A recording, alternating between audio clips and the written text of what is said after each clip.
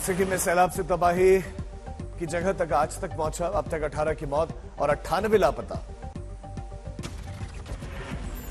सिक्किम के मंगन में अचानक बादल फटने से बाढ़ आई। सेना की टीम राहत और बचाव ऑपरेशन में जुटी। कैमूर में बाढ़ का पानी, शहर में घुसा कई घर और कई दुकान, पानी से लबालब भरे। भूकंप से फिर दहली उत्तरकाशी की धरती, दहशत में लोग घरों से बाहर अचानक निकल पड़े। उत्तरकाशी में पिछले साल द्रौपदी दो डांडा एवलांच घटना में अब जाकर एक पर्वतारोही का शव बरामद किया गया। महादेव ऐप मामले में कई एक्टर्स की बड़ी मुश्किलें। ईडी ने कपिल शर्मा, हुमा कुरैशी और श्रद्धा कपूर को थमाया समन।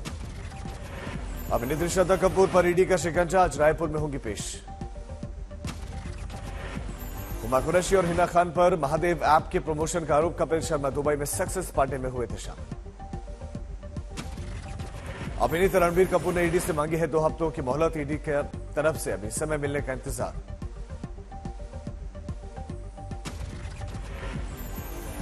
एक्टर टाइगर श्रॉफ, सनी लियोनी, नेहा कक्कड़ समेत कई सितारे रडार पर सभी महादेव ऐप के प्रमोटर सौरभ चंद्राकर की पार्टी में दुबई में शामिल हुए थे। शराब घोटाले में गिरफ़्तार आम आदमी पार्टी के सांसद संजय सिंह को ईडी की मिली पाँच दिनों की रिमांड, ईडी की दलील, सबूतों के आधार पर आरोपी से पूछताछ। कोर्ट में संजय सिंह पर ईडी के संगीन आरोप। आप सांसद के घर से दो करोड़ के लेन देन का दावा और बचाव पक्ष के वकील की दलील के भरोसे के लायक नहीं है आरोप। संजय सिंह ने कोर्ट में कहा कि मुझे झूठे केस में फंसाने की साजिश, अगर आरोप सच निकले तो कोर्ट कड़ी से कड़ी सजा दे। संजय सिंह ने कोर्ट में कहा कि दिनेश अरोड़ा ने कई बार बयान दिया, लेकिन अब उससे मेरा नाम लेने का दबाव उस पर बनाया गया है। अपनी गिरफ्तारी को संजय सिंह ने बताया अत्याचार, बोले कि 2024 में हारने जा रहे हैं प्रधानमंत्री मोदी, इसीलिए हार के डर से बौखलाए बीजेपी। संजय सिंह की गिरफ्तारी को लेकर अरविंद केजरीवाल का बयान, सारा केस झूठा है।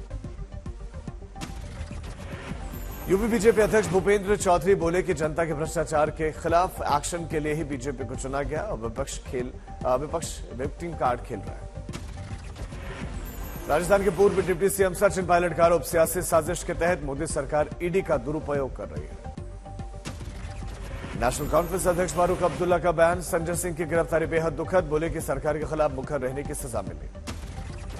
झारखंड में मुख्यमंत्री हेमंत सोरेन ने बीजेपी पर साधा निशाना कहा कि एजेंसीज का इस्तेमाल राजनीतिक हितों के लिए किया जा रहा है और दुनिया इसे देख रही है। मनरेगा और अन्य योजनाओं के बकाया राशि देने के लिए टीएमसी का कोलकाता में प्रदर्शन, राज्यपाल से मिलने पर अड़े पार्टी के नेता आज फिर से देंगे धरना। टीएमसी के प्रदर्शन के दौरान सिलीगुड़ी में बाढ़ प्रभावित इलाकों का दौरा कर रहे थे राज्यपाल। अभिषेक बनर्जी बोले कि उनसे मिले बिना जाएँगे नहीं। कोलकाता में राज्यपाल के नहीं होने के बीच में टीएमसी का मार्च, पार्टी की पार्टी ने चिट्ठी लिखकर दोबारा मांगा वक्त। मिलने वाले नेताओं में अभिषेक बनर्जी की पत्नी रुचि राफी उनका नाम भी शामिल। टीएमसी के राजभवन घेराव पर राज्यपाल बोले कि घेराव नहीं, घराव। अभिषेक बनर्जी की माँ लता बनर्जी को ईडी का संबंध आज हो सकती है पूछताछ। नीतीश के एनडीए में वापसी को जेपी नड्डा ने इशारों में नकारा, कहा कि वक्त आ गया है कि अपने बलबूते पर बनाएँगे सरकार। परिवारवाद के बहाने आरजेडी पर वार। पटना में बीजेपी अध्यक्ष जेपी नड्डा का रोड शो एयरपोर्ट पर भी कार्यकर्ताओं ने किया जोरदार स्वागत।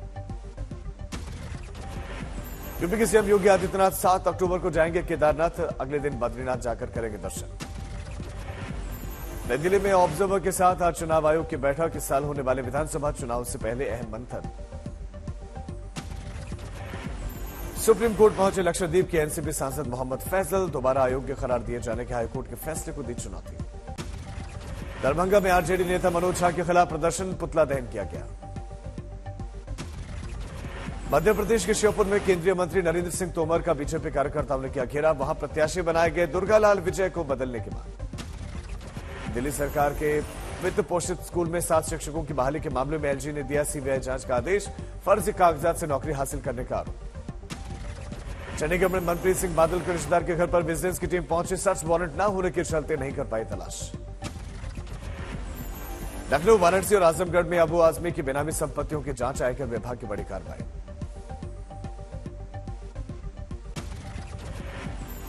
एनसीबी पर दावेदारी की जंग में आज चुनाव आयोग की अहम सुनवाई, पार्टी और सिंबल को लेकर चुनाव आयोग दोनों ही पक्षों की दलील सुनेगा। छत्तीसगढ़ पहुँचे केंद्रीय मंत्री अनुराग ठाकुर ने भूपेश बघेल सरकार को घेरा पीएससी चावल घोटाले जैसे कई घोटालों के आरोप लगाए।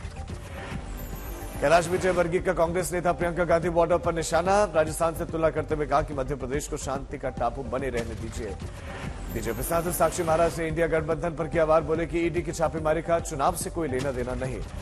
जम्मू कश्मीर की पार्टी जेकेडीएफपी पर गृह मंत्रालय का एक्शन यूएपीए के तहत गैर कानूनी संगठन घोषित किया। उज्जैन में महाकाल लोक के फ़ेज़ टू का मुख्यमंत्री शिवराज सिंह चौहान ने लोकार्पण किया, विशेष पूजा का आयोजन। लोकार्पण के मौके पर जगमग हुआ महाकाल के दरबार, इक्यावन हज़ार दीपों का प्रज्वलन, अनूठी संस्कृति की झलक, सात सौ अठहत्तर करोड़ की लागत से फ़ेज़ टू तैयार। लोकार्पण के मौके पर उज्जैन में दिवाली जैसे माहौल दिखा, जमकर आतिशबाजी की गई। सनातन में जारी विवाद को लेकर मुख्यमंत्री ने विवादित बयान देने वालों पर साधा निशाना कहा कि सनातन सदा रहेगा। कुछ लोगों ने उंगली उठाई और कहा कि सनातन डेंगू है, मलेरिया है, वायरस है, इसको खत्म कर देना चाहिए। अनंतनाग में हुए आतंकी हमले में जख्मी हुए दसवीं के छात्र की अस्पताल में मौत बुधवार को आतंकियों ने मारी थी गोली। आज से अमरावती में स्वास्थ्य मंत्री तानाजी सावंत के खिलाफ प्रदर्शन पोस्टर पर मारे गए जूते। नांदेड़, नागपुर के अस्पताल में मरीजों की मौत पर गुस्सा।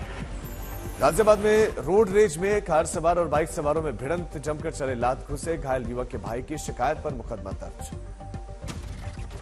अमेठी में चोरी के आरोप में युवक की लाठी डंडों से पीट पीट कर हत्या कर दी गई। इलाके में तनाव का माहौल। हनुमानगढ़ में 28 घंटे तक पानी की टंकी पर चढ़कर युवक का प्रदर्शन गाँव में अतिक्रमण हटाने की मांग, पुलिस ने दर्ज करवाया मामला।